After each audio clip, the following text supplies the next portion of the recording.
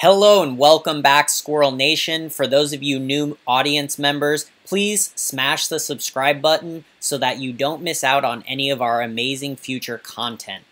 Anyways, today's video is covering Riktor, who is an outstanding hero.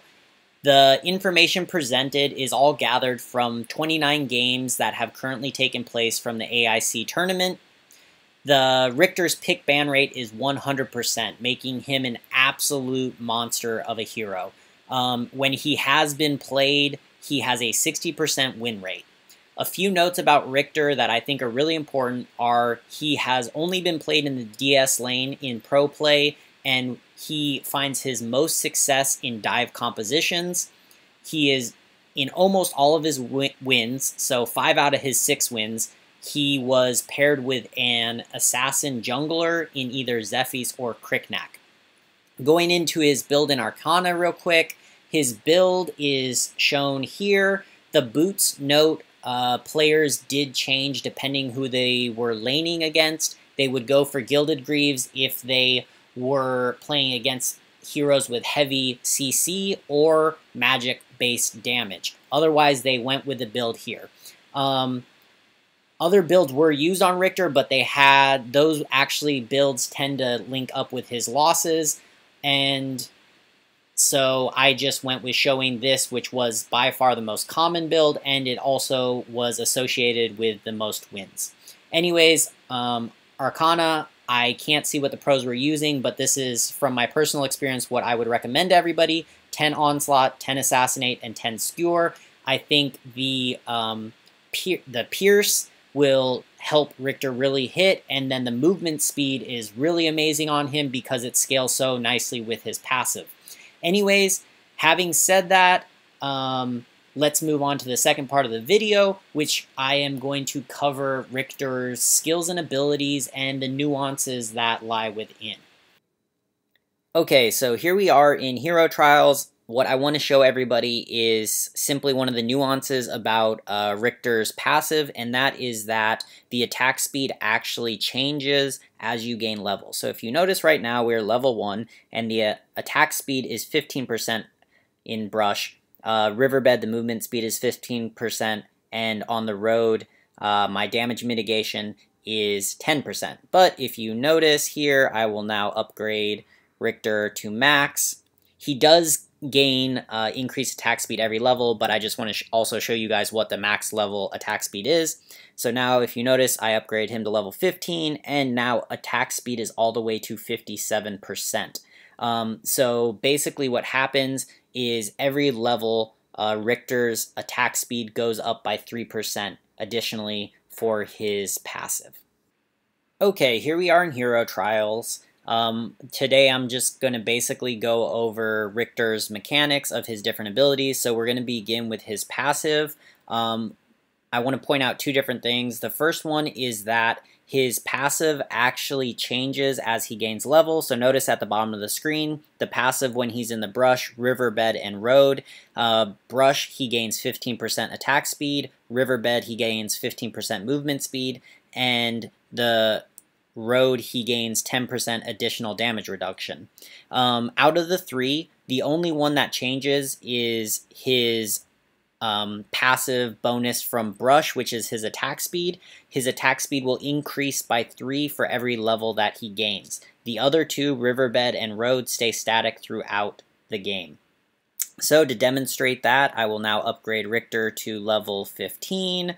Um, we know that he gets 3 uh, plus 3 attack speed for every level. So if you notice that 15 at the bottom of the screen now turned to 57% attack speed. Okay, the second thing I want to show everybody about Riktor's passive is the change in movement speed when he changes from one terrain bonus to the next. So if you notice right now, I will show you guys, notice movement speed is currently plus 57. So if I go into a bush and jungle and I stand here, wait, wait, wait, then in the jungle I, I get no bonus movement speed. You notice that green plus one away and now we're just at 380, okay? But so what happens is if you, and I have to time this right, so if I step out you notice it's still at that. But now all of a sudden I got a big burst and it went to 57 for the riverbed bonus, right? But the thing that is very interesting is the river bonus actually stacks with the change in terrain bonus. So if I time this out right, it's right when it changes, bam, 152 now that I'm standing in the bush, right? But that 152 only lasts for a short duration when I change from river to the brush. And notice now, I'm going to notice now if I, I'm still standing in the brush, but now it's back to the 380, right?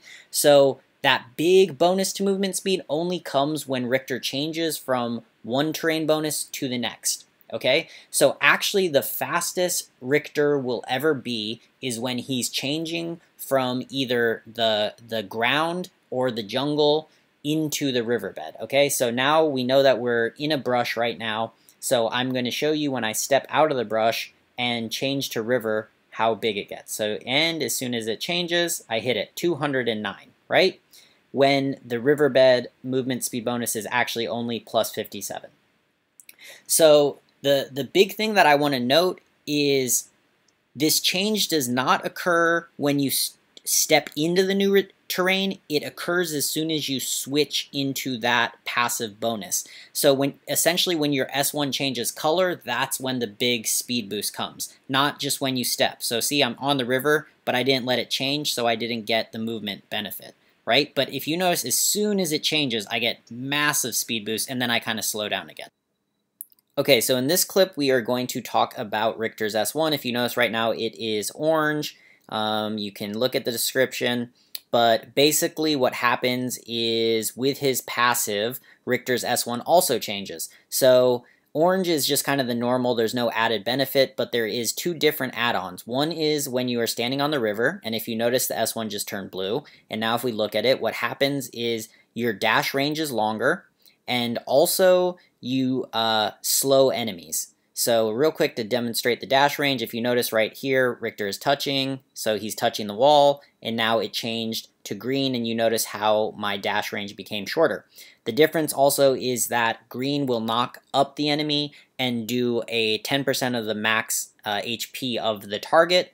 So green does the most damage, Blue is, has a nice debuff for if they try to run away. So the way that you want to combo that with Riktor is you want to wait for the enemies in the bush, come out, knock them up, right? And then wait for it to go blue and hit them again. One other thing about the S1 that I want to cover is the optimum damage combo. If you notice, uh, look for the icon that's going to pop up, which is the passive when I use my S1. So I use my S1, you notice that sword, and I think there's a error in the code right now. If you notice, it doesn't give a good description, but what that is is basically the passive, which is the bonus magic damage. So if you notice, once again, S1, I have it. Notice Riktor, the first attack is that thrust, second attack is not a thrust anymore, right? So even though that passive still stays up, the added magic damage from the S1 only is that first attack. So anyways, once again, we hit it with the S1, you notice that passive, a thrust, then I hit an S1 again, and then I thrust again. So remember you're going to want to do S1, auto attack, S1. So S1, S1, auto attack, S1, auto attack. That is going to be uh, the best way to get burst with Riktor's S1.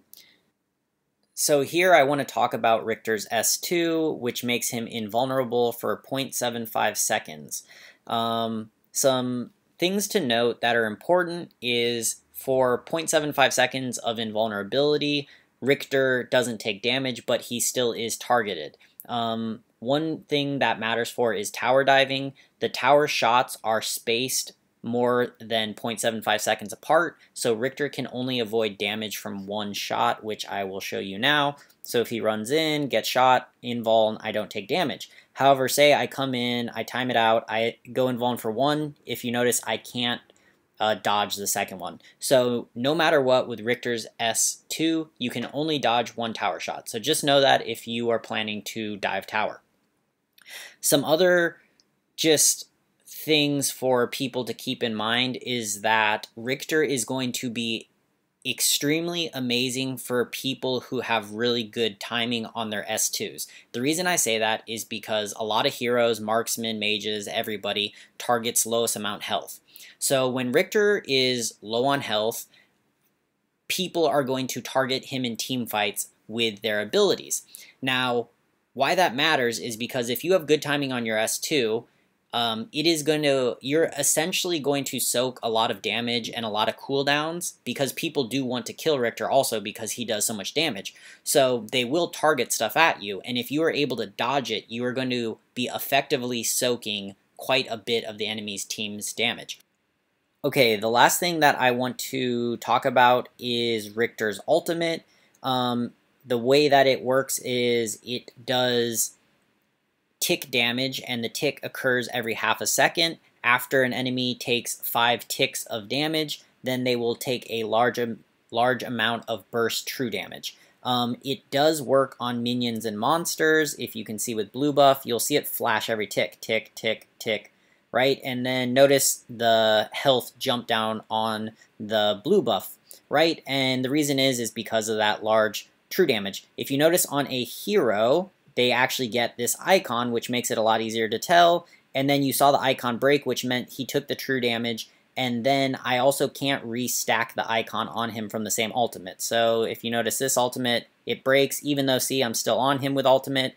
It, it you can't you can't trigger it twice on the enemy for one alt.